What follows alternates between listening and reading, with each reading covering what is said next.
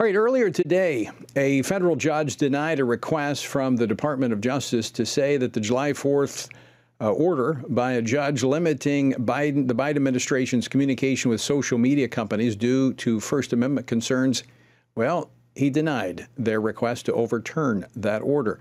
Uh, you'll remember this temporary injunction came in response to lawsuits from attorney generals in Louisiana and Missouri whose filings describe the actions of the Biden administration as the, quote, most egregious violations of the First Amendment in the history of the United States of America. Now, this has been court documents. Join me now to get his reaction to today's decision by the court in Louisiana is the Missouri Attorney General Andrew Bailey. General Bailey, welcome back to the program. Thank you for having me on. Now, I, I, want to get your reaction. The Justice Department requested a stay on the judge's temporary injunction from last week that was, uh, it rejected that today. Um, to me, it's pretty straightforward. The, the, the earlier order just said, look, no more of this collusion with the social media giants to silence disfavored speech. The court today said uh, no to their effort to push that aside. Your thoughts? Yeah, one wonders why the Biden administration is trying to appeal the court order. The court order merely says that the Biden administration can't violate the Constitution. It's a 155 page order, but most of the, those uh, are just documenting the instances in which the, the Biden administration appears to have violated the First Amendment in the past. And so all the judge said is, hey, we're going to start to erect this wall of separation between tech and state, and you can't violate the the the uh, constitutional right to free speech in the future. Why would they appeal that? And so then they they file this notice of appeal, say that they're going to suffer irreparable harm to the national security apparatus if they don't get a stay of the district court order. And the district court today evaluates it and says, "Well, look, DOJ, you haven't put on any evidence or shown me anything that would that would demonstrate that lawful behaviors are curtailed under this order. All we're saying is you can't violate the Constitution." Yeah, that was my that was my thought when I read the initial order that normal activity that would be, you know, protecting national security or other violations of the law were still allowed to take place uh, under the judge's July 4th order. So, in their appeal, it suggests to me that they want to continue to silence disfavored speech. That's absolutely right. They want to continue to suppress Americans' free speech, and they only target conservative voices. Anything that the federal bureaucrats or Joe Biden disagree with or think is not true, they want the right to silence. Certainly, the First Amendment prohibits that. The court picked up on that. That's why we have this nationwide injunction. And really, it's dripping with irony if you think about it. The same screaming heads that are saying that this uh, this court order is the end of the world, that it's going to destroy coordination between the government and, and big tech uh, are, are sowing disinformation under the guise of trying, trying to protect us from disinformation.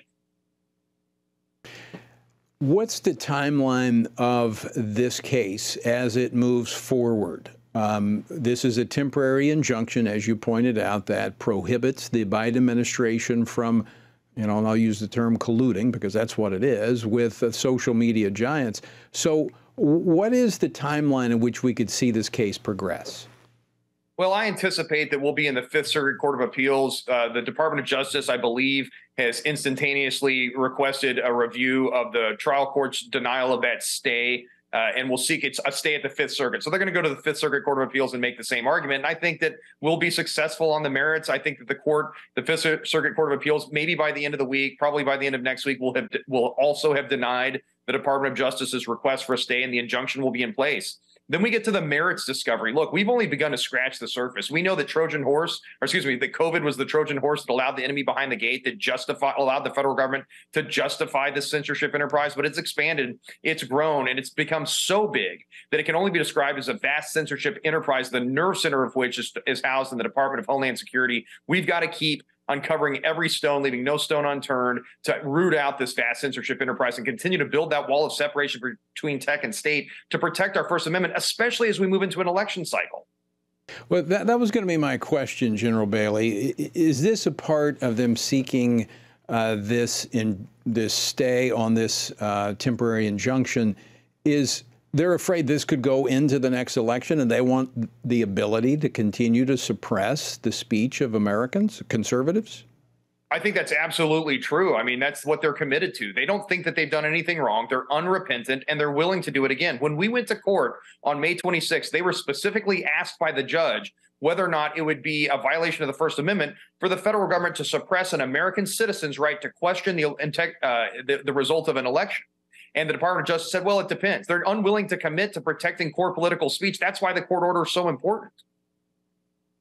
Now, with this court order in place, let's talk uh, theoretically here for just a moment about violations of this. Let's say the Biden administration, they don't get this injunction, the order stays in place, and they violate it. Number one, how will we know if they violate it? And number two, what could be the consequences for them and the social media companies that would collude with them? Well, we'll know because we're going to continue to monitor it through the discovery process. We will now have access to additional witnesses and innumerable documents and files and evidence. And so we're going to monitor it through that process. And if we find anyone violating the court order, we're going to move to hold them in contempt. And it's the power of contempt that compels the federal government to obey the constitutional protection of free speech. Can a hotline be set up for those within the social media world to uh, to offer tips if, in fact, uh, the Biden administration begins to lean on them again? Yeah, absolutely. I mean, we need again, we're going to continue to erect this wall of separation between tech and state, and we're going to need everybody's help in identifying where that censorship is occurring to stay on top of it. We've got to remain vigilant and, and protect the free, fair, and open marketplace of ideas, especially as we move into an election cycle. And we'll use every tool at our disposal to accomplish that. Long term, Congress probably needs to appoint an inspector general to monitor compliance with the court order. This is a lawsuit that's going to end up in the United States Supreme Court. It's the most important First Amendment lawsuit in a generation. We've uncovered the worst First Amendment violations in this nation's history. And again, we've only begun to scratch the surface. If we want to preserve our legacy of freedom given to us by God and enshrined in the Constitution by our founding fathers and handed down to us as a legacy of freedom, we've got to stay on top of this. So you you do believe that we've talked about this before, and you've said before you think this is going to end up before the United States Supreme Court. And of course, they issue opinions only once a year in uh, June, pretty much of every year. Just uh, is this something you think they might pick up for next year, or is this something that will be post election before we'll actually have a, uh, a final adjudication on it? Well, I think final adjudication is going to take a year or two to, to get there. I mean, like I said, we've only scratched the surface. We need, need to get into the merits of the case. Now, if the Fifth Circuit uh, denies the, the, the trial court's injunction or you know overturns the trial court injunction or stays the trial court injunction or or does something else. Certainly we would seek uh, relief in the united states supreme court and, and i assume that the department of justice would as well. So there may be preliminary matters that are going to get to the united states supreme court but the the heart of the case uh, the merits of the case and again rooting out the vast censorship enterprise is going to take time take effort and take vigilance on, on behalf of louisiana uh, missouri and certainly the private plaintiffs as well so this going back again to this order that was in place, this is critical then because this is basically going to be the policy that's in place going into this election cycle and through this election cycle. So this is the one element that can essentially tie the hands of the left that ha- that we know. As you said, this is not speculation. You have the evidence that they manipulated the uh, this virtual public square to benefit the left in the last election. That's absolutely right. And it's not just that we possess this quantum of evidence. We put on that evidence in court and convinced a judge that we're likely to succeed on the merits of our claim. He said there's likely a vast censorship enterprise, eh, the nerve center of which is in the Department of Homeland Security. And that, uh, you know, in court, when the when uh, the judge looked at the Department of Justice and said, "Well, give me one example of when you've ever silenced uh, censored speech uh, that wasn't conservative speech." The Department of Justice struggled to come up with an example. The only example they gave was one Democrat who disagreed with Joe Biden. So it clearly is being weaponized to silence dissent, which is the very purpose of the First Amendment. So, General Bailey, as this process goes on, and you'll be making uh, more presentations to the court. You'll be doing more discovery. Will the public have the benefit of knowing more of what was going on behind the scenes in this process? Absolutely. We're committed to transparency. Certainly, we've released as much information uh, as we've been allowed to by the court within the confines of due process and due diligence. And we're committed to the, to the public understanding what went on here so we can prevent it from ever happening in the future.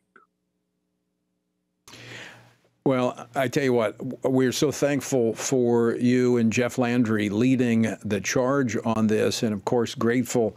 Uh, the Fifth Circuit's decision, uh, well, the, the, the, courts here in the Fifth Circuit, and then ultimately it'll be to the Fifth Circuit, but grateful uh, for this revelation that really answers a lot of questions of what we've been experiencing over the last several years when it comes to the social media.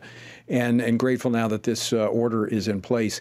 So I want to switch gears for just a moment uh, in the few minutes we have left, uh, General Bailey. You joined with uh, six of your colleagues uh, last week in writing a letter to Target as uh, they were in Pride Month uh, basically warning them that they could be violating child protection laws with some of the uh, merchandise that they were marketing. Uh, ex- explain that to our, our viewers and listeners.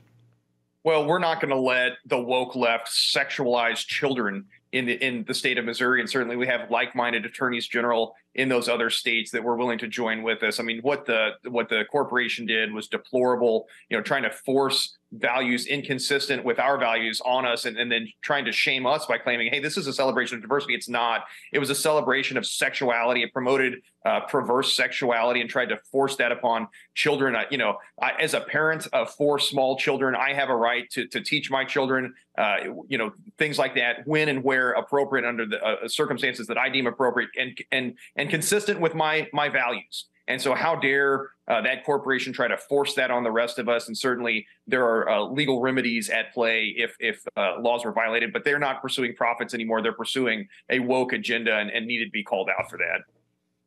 Yeah, uh, there's no question they're not pursuing profits. I mean, they lost $12 billion in market value as a result of a boycott because of uh, this pride display and, and the really grooming of children that they were doing. But what I find interesting, there were actually some of your colleagues on the other side of the aisle, some Democratic uh, state attorneys general, that wrote letters to Target when Target removed some of the displays. And, and what I find interesting about that is that these corporations they feel like they're you know stuck in the middle between you know left and right, red and blue, or whatever, however you want to describe it. But they picked this fight. They're the ones that stepped into the middle of this. If they would have just done business and not tried to get into these, uh, if you want to call them cultural wars or whatever you want to describe them as, they wouldn't find themselves between a rock and a hard place.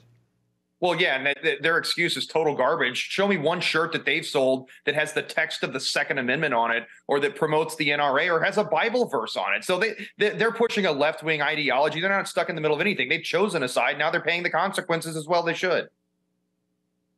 And we're seeing increasingly. We've talked about this on the program how more and more Republican lawmakers are backing away from corporate America, and I find this actually quite satisfying, honestly, because corporate America has aligned themselves with the social policies of the left, and now they're screaming because they have to live with their fiscal policies as well, and it's not good for business.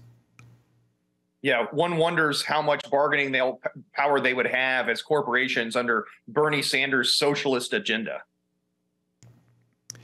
A final question for you, uh, General. Speaking on the, uh, the, the issue of what Target was doing with all this transgender uh, stuff, you've been investigating uh, the hospitals there in Missouri that were profiting and enticing uh, children, parents into this pipeline of transgender, experimental transgender surgery and drug treatments. Any new uh, revelations on that front?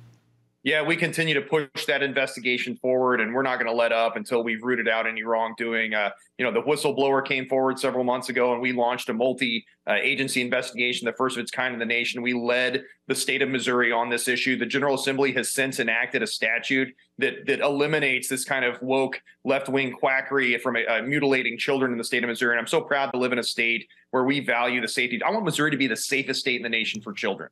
And this was a first step in achieving that objective. And we'll keep fighting to pursue that and holding wrongdoers accountable. Well, General, I want to say you're doing your part uh, to make Missouri a great state and to inspire other states to uh, to take the same track. Uh, General Bailey, always great to see you. Thanks so much for uh, joining us today. Keep up the good work. Thank you, sir. Thank you for having me on.